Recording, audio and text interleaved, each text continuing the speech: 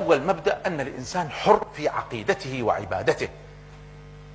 يؤمن بما يشاء ويعبد ما يشاء. هذا هو الأصل. الناس ما هم بأحرار في الشرك و... والشهوات والشبهات. الأحرار هم الذين يعبدون الله وحده لا شريك له.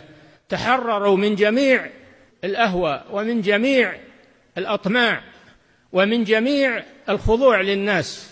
صاروا عبادا لله. كما خلقهم. وما خلقت الجن والإنس إلا ليعبدون. الحرية في عبادة الله عز وجل. تخلصك من الذل للمخلوقين. تحررك من اتباع الهوى. تحررك من كل الشرور. إنه من يشرك بالله قد حرم الله عليه الجنة ومأواه النار وما للظالمين من أنصار. فمن شاء فليؤمن ومن شاء فليكفر. جاء بعدها إنا أعتدنا للظالمين نارا أحاط بهم سرادقها هذا من باب التهديد ما هو من باب التخيير. لكم دينكم ولي دين. هذا براءة يا أخي ما هو حرية هذه براءة.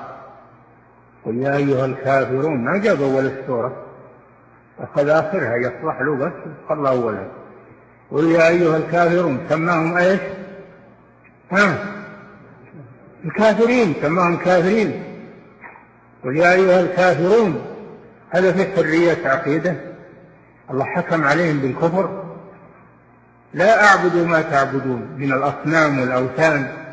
ثم قال لكم دينكم ولي دين براءة لي. ما هو بتكفير أو, أو, أو حرية إنما هو براءة وتهديد. تهديد لهم. عشرات الآيات جاءت لتؤكد أن الإنسان حر في عقيدته وعبادته. ما هو هذا كلام المؤمن؟ ماذا ماذا ما هو هذا كلام المؤمن؟ الناس ما هم بأحرار في الشرك و... والشهوات والشبهات. الأحرار هم الذين يعبدون الله وحده لا شريك له.